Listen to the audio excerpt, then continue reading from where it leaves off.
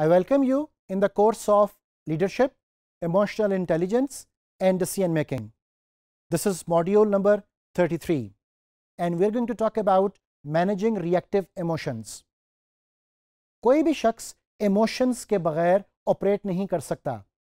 और एक लीडर को तो सबसे ज़्यादा सेंसिटिव होना है emotions के साथ डील करते वक्त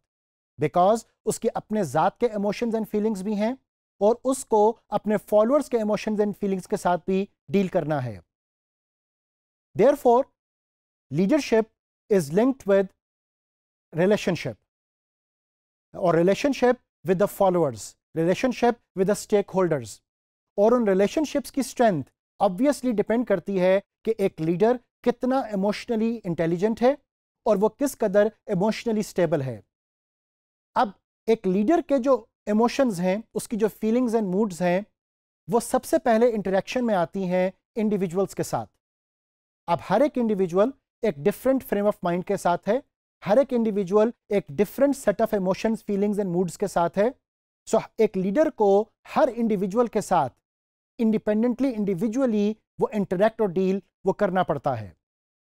अब बहुत से इंडिविजुअल्स जब मिलकर एक ग्रुप बनाते हैं तो ऑब्वियसली कोलेक्टिवली जो इमोशंस का सिनेरियो हमारे सामने आएगा एक लीडर को उस ग्रुप के कलेक्टिव इमोशंस के साथ भी डील वो करना है। सो so, लीडरशिप में ये एक बहुत बड़ा चैलेंज है कि वो इन रिलेशनशिप्स को किस कदर मेंटेन कर पाता है किस कदर सस्टेन कर पाता है। और इन रिलेशनशिप्स की स्ट्रेंथ वो सारी की सारी मूड्स इमोशंस एंड फीलिंग्स के ऊपर बेस्ड वो होती है। देयर एक लीडर को अंडरस्टैंड करने की ज़रूरत है that what are the group processes उन ग्रुप प्रोसेसेस में it is not just the developmental stages of the group जिसको कि हम फॉर्मिंग नॉर्मिंग स्टॉर्मिंग परफॉर्मिंग के साथ एसोसिएट कर सकते हैं। जबकि ग्रुप प्रोसेसेस में the leader needs to see कि वो लोगों के साथ कोऑर्डिनेट कैसे करता है, वो वहाँ पर ज़्यादा बेहतर एफर्ट वो कैसे डेमोन्स्ट्रेट कर सकता है, और वो क्या टास्क स्ट्रेटेजी यूज़ करे, जिस जिस टास्क स्ट्रेटेजी से एक ग्रुप में सनर्जी वो क्रिएट हो सके। So the leader needs to be sensitive. The leader needs to understand the relationships, emotions, moods and feelings. Therefore, in the mindfulness training, चूंकि हम अपना मेजर फोकस कर रहे हैं on this keyword which is mood we have to see कि इस mood की क्या एसोसिएशन है with the leader and with the followers और the members and obviously it is going to be a two way process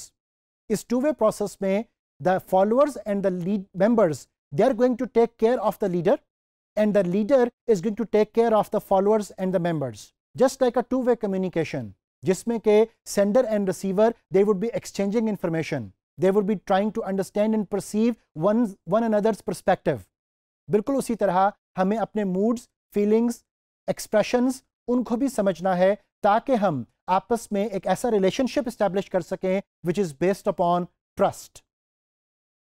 अब एक leader को जब एक ग्रुप में इंटरेक्ट करना है तो उसको माइंडफुलनेस ट्रेनिंग की ज़रूरत है। एक ऐसे ट्रेनिंग प्रोग्राम की, जिस ट्रेनिंग प्रोग्राम से वो अपने कॉन्शियस माइंड को एक्टिवेट रखे, जिस ट्रेनिंग प्रोग्राम में वो अडाप्टेबिलिटी और फ्लेक्सिबिलिटी की तरफ़ जा सके, जिस ट्रेनिंग प्रोग्राम में वो इस बात को अंडरस्टैंड कर सके कि हाउ ही और she suppose to understand other people उस मकसद के लिए the leader needs to self regulate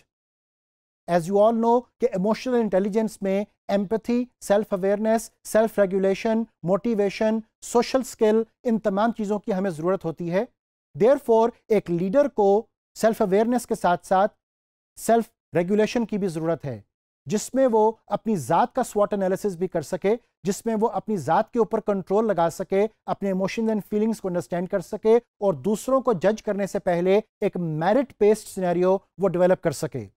एक लीडर जब अपने फॉलोअर्स के साथ इंटरेक्ट करेगा तो उसको इस बात को जहन में रखना है कि they are going to be certain stressors because those stressors are going to cause certain constraints on his or her performance. Those stressors are going to create a challenge for the leader. और ज़ाहिर है कि उन stressors को understand करने के लिए और उन स्ट्रेसर्स को ओवरकम करने के लिए हमें माइंडफुलनेस ट्रेनिंग की ज़रूरत वो होगी अगर हम इस सारी बात को कंक्लूड करें तो याद रखिएगा कि लीडर एक इंसान होने के नाते is having feelings emotions and moods और दूसरे इंसानों के साथ जब उसने इंटरेक्ट करना है तो ही और शी नीड्स टू अंडरस्टैंड कि उनकी फीलिंग्स इमोशंस एंड मूड्स भी होंगे और उनके साथ आपने अपने आप को एसोसिएट वो कैसे करना है। So sometimes the leader may have to go for emotional labour जिससे गुजर कर ही वह सही फैसला और सही राह की तयन वो कर सकेगा। Thank you